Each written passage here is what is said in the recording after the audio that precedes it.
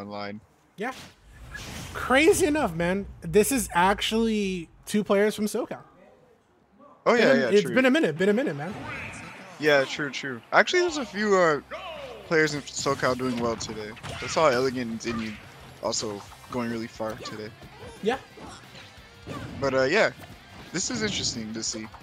Um, off the bat though, I already know this is pretty frustrating. Like any type of character that has good zoning options is difficult for Luigi to deal with a lot of times.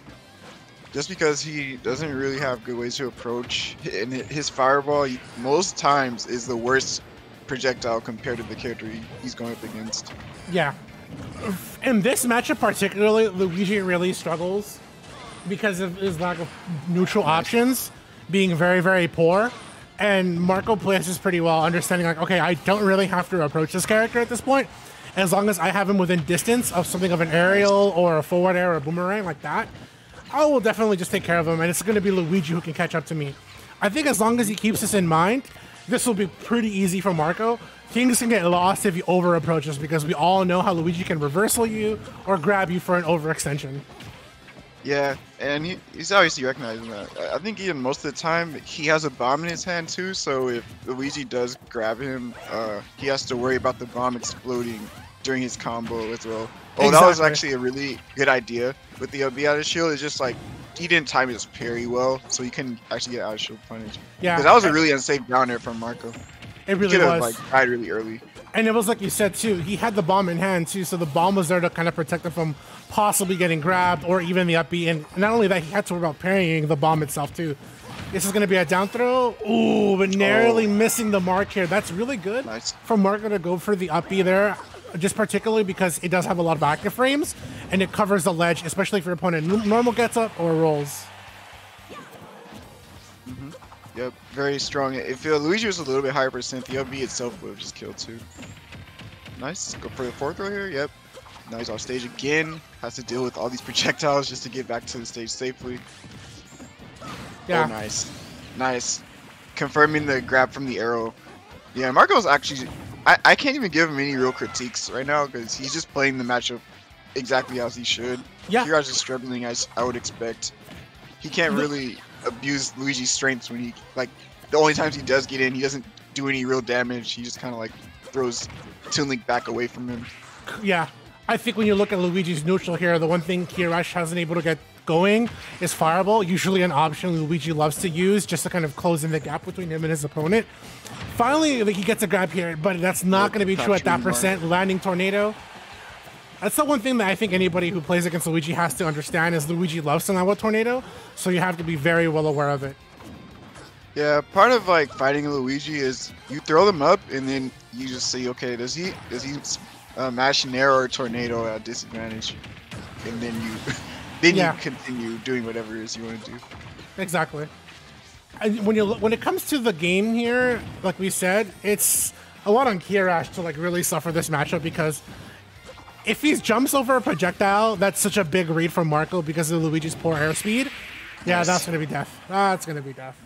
Good JV there for Marco. Uh, yeah. I mean, I already said it. Um, he's just not letting Luigi get any grabs at all. As he should. I, I think when you when you look at it like this, right? Like I said, just to finish it up, you Luigi has such poor air options that if he tries to jump over a projectile, Toon Link's airspeed and speed in general will be enough to actually counter Luigi. So it's kind of like Akira Rush has to sit there and kind of take it and then hoping the Marco overextends himself. But I think the way that Marco knows the matchup as well as understanding how to play it, he's never going to make that mistake. And that's why we see this victory in Marco's hands. Mm-hmm. Yeah, it's. I really want to see what Kiyarash does here to uh win this set. to be honest, it's like giving me uh vibes when I watch Elegant go up against uh Dom's Belmont. It's a very similar, similar strategy.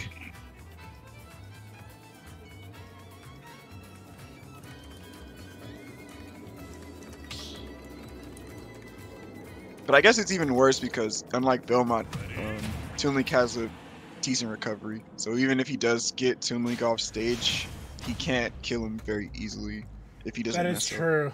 That is very true. I think. All right, but let's see. I, I I think Kiyarash he knows. Okay, like I gotta I gotta clean up my neutral. I gotta like stop getting baited and like getting reversal by projectiles over and over. Even if it means slowing down the game to where you know he can find an opening on Marco and then you know get Yeah. a good combo. I think in- that's what it's gonna take. Even in that situation where he parries, the fact that Marco knows his moves are still safe. Oh, Oh, no!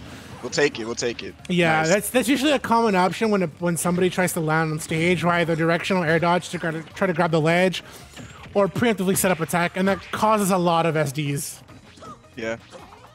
Just using that down tilt in general at the ledge is super strong because it's so fast. Like, it covers neutral, get up and jump super well. If they jump, they don't have a jump and they're off stage, then like a lot, a lot of bad things can happen. Yeah, And uh, this is uh, really good already.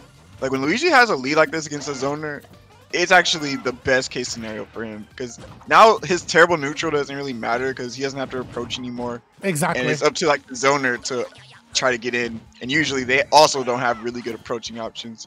Correct. So th- this is this is where you see them start to make a lot of mistakes, as you can kind of see right now from Marco, and uh, get punished very hard. So uh, yeah, let's see let's see what Marco does to bring this back. He's yeah, kind of struggling a bit, but okay. That was actually really good recovery from Kiyarash.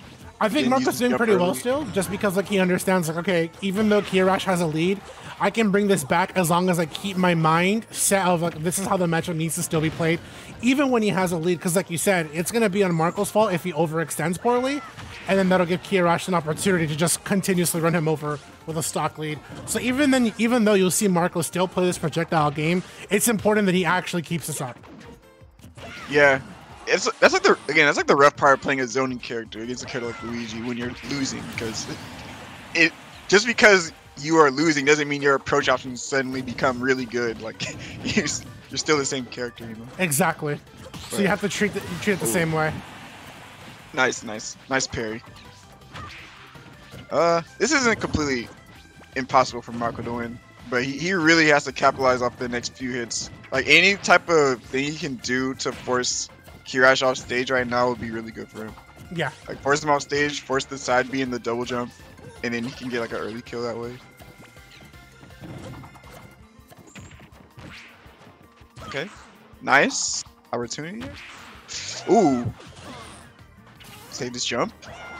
Really good recovery, and he rolled past this hero. Spin. Yeah. is it hero spin? Spin attack? I think it's a spin attack actually. Hero, I think uh, hero people spin use is the, the- hero The spin. knee sword one. But anyway, yeah, that was actually a really good opportunity for Marco. I actually really like that edge guard he went for, it, but I also really like Kiyarash saving his double jump in that situation. Because any other Luigi that's like not good would have died there for yeah. sure. I Oh, think that's what kind of separates.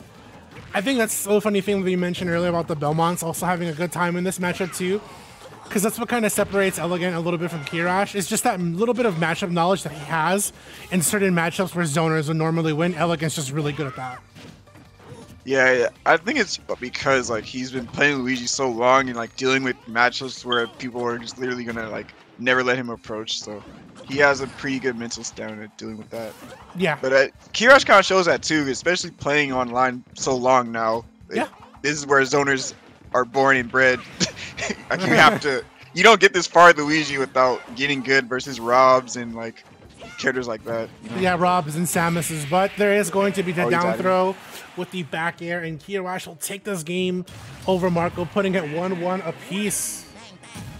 Yeah. That first stock super cost him. Not Yeah. gonna lie. Honestly, the way that Marco was playing, if he didn't lose that stock, this definitely would have been a Marco W. Yeah, he uh he pretty much died at very low percent without doing any damage to Luigi pretty much. So it's like he started the game immediately playing two to three stocks. Yeah.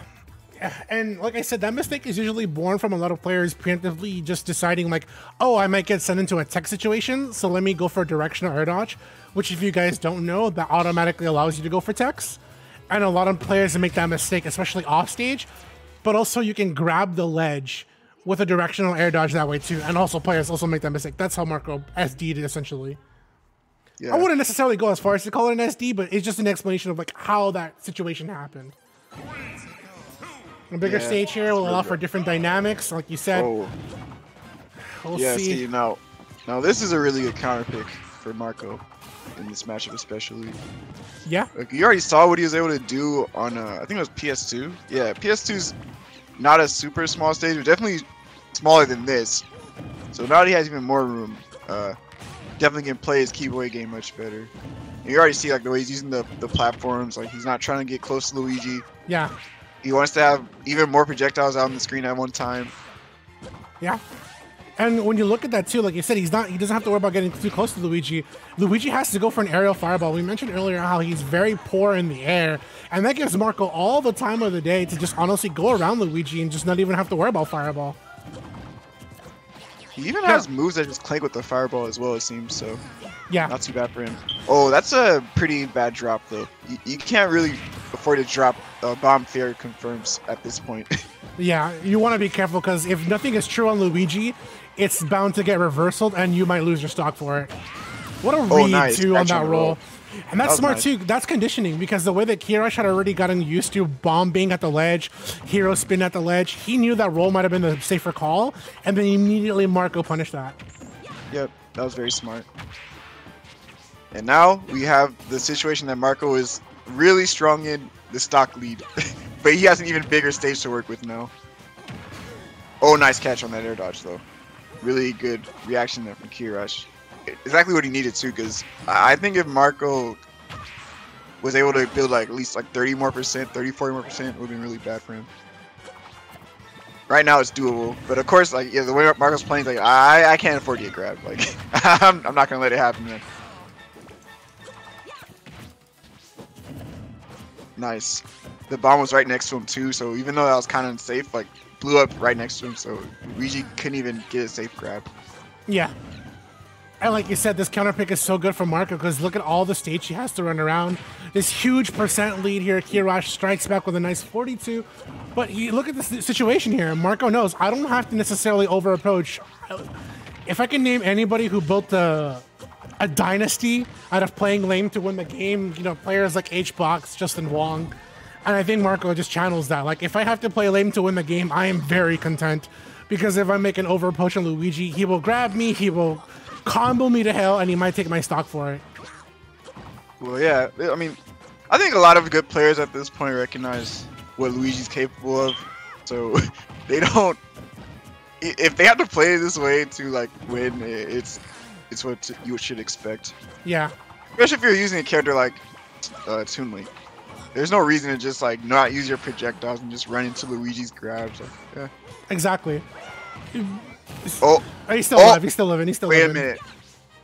Okay, that could have been bad though if That really Kiyarash was ready to back air him because he didn't have a double jump, and he has a rage too. Yeah, look at that. Okay, but th- this is also though like this is kind of where playing this way kind of can get bad sometimes because depending on how patient your opponent is, they could actually uh you know get more comfortable in the match because you're just like you know wasting time and stuff and not really Yeah. they're also not approaching you either. But he did get that stock, so it all worked out in the end. Go to Marco to Z drop the bomb there on the platform so he could buy himself some time to get off off of the platform. And if Kiyarash let go of shield, he was gonna get hit by bomb. That's a bomb Oh. drop and it clanks with the up B, but it's not enough. Kiyarash still looking for an opportunity here. He starts off with a dash attack. He's got him at the ledge. Can he finish off Marco's stock here to put it at even? But at this Uh, point, Marco's like playing the platform uh, expertly right now. But Yeah. that was a terrible Z drop. Uh, expected Kiyarash to roll into that, but that was just very easy landing to punish. And now Kiyarash sees he might have an opening to bring this back if he gets the right the right grab here. And uh, yeah, you can see Mario's like, all right, I'm back on the platform again. Like, I'm playing the Yeah. palms. I'm at six percent. Uh, Exactly. I'm, I'm not gonna give it to you. Oh, Oh, dang. what a Yeah, punish not good. He- The DI was not good, but he punished Oh, the parry and punishes the air dodge. Marco putting that 2-1 over Kiyarash. Ladies and gentlemen, give it up for SoCal versus SoCal. Yeah, good, good, good job for both players, but uh, especially